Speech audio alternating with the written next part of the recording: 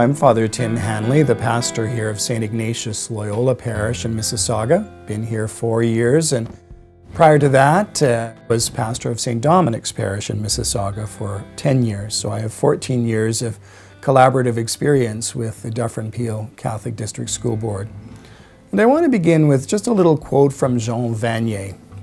Jean Vanier, in Becoming Human, says every child, every person, needs to know that they are a source of joy. Every child, every person needs to be celebrated. And the story I'm going to tell you today is about Matthew. Matthew is a developmentally challenged boy with on the autism spectrum, and Matthew came to us for the sacrament of confirmation. And it wasn't obvious that Matthew was going to be able to even take part in the ceremony, such was his difficulty on the autism spectrum.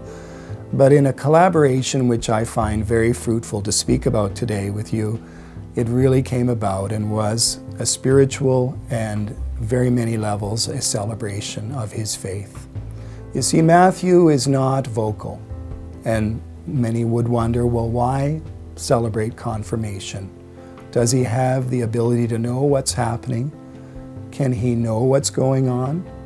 And yet, his parents, quite rightly, supported the fact that if the other siblings had been confirmed, so should Matthew. And it began really with the principal calling us to letting us know about Matthew's situation and the receptivity of our parish staff to take that special initiative and point it in my direction so that when I met with Matthew and with his mother, I was able to work with them to specially craft a program for his preparation for confirmation. Sure, Matthew did come to Mass, but Matthew couldn't sit for more than five minutes at a time. So we engaged that Matthew would come for as much as he could and would go to the foyer or come in and out between the Masses and do as much as he could. But I think what really helped were the adaptive resources that the Dufferin Peel Catholic District School Board has made available, and I just want to use an exhibit.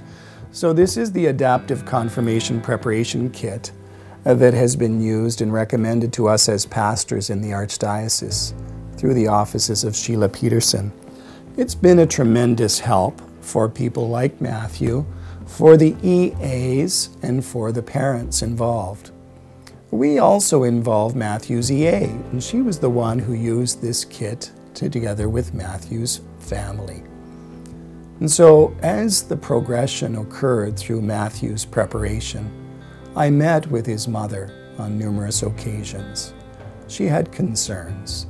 How was he going to react to the presence of even the wearing of a gown for confirmation? Because sensory issues were a huge issue for Matthew. Any foreign object on his body would be an issue. What if he wasn't able to say Amen? What if he wasn't able to stand with the other kids?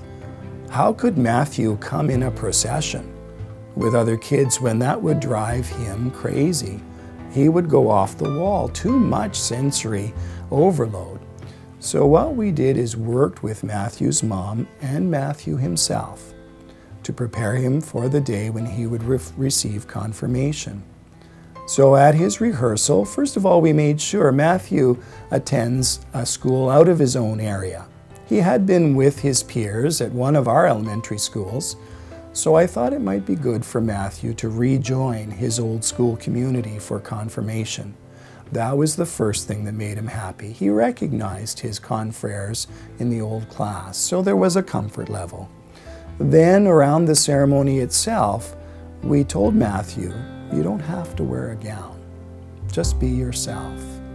You don't have to come in the procession. So we seated him before the confirmation ceremony. We had a plan A and a plan B. If Matthew wanted to stand beside the other candidates, when the anointing of sacred chrism took place, he could do that. However, the cue was if Ma Matthew's mother thought he would be best off to be, receive confirmation in the pew, that would be plan B. And so we just waited for a cue from Matthew's mother. There he was with all of the other kids, but we waited for a time when Matthew appeared to be settled. I went over to the pew anointed him right there with the Holy Chrism. There was not a disturbance from him. It was as if the Holy Spirit had descended upon him. And with the loudest voice of all the candidates, he said, Amen. Alleluia. Who could have responded better than Matthew?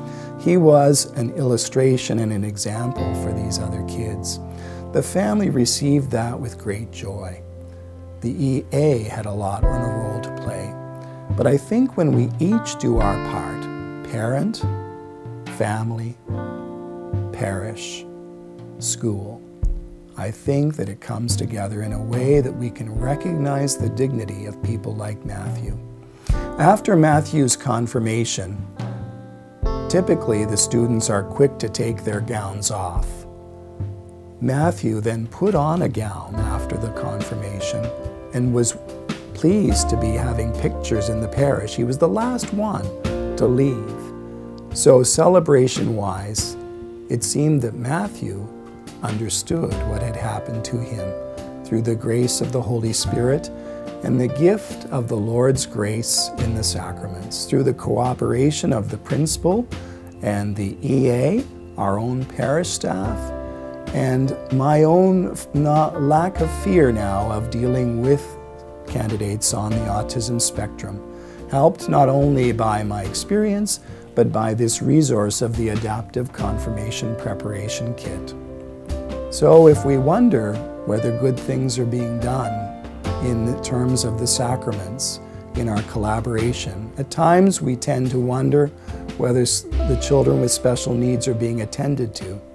I think we can point to Matthew's situation here at St. Ignatius Loyola in May of 2016 and say with him, Amen and Alleluia.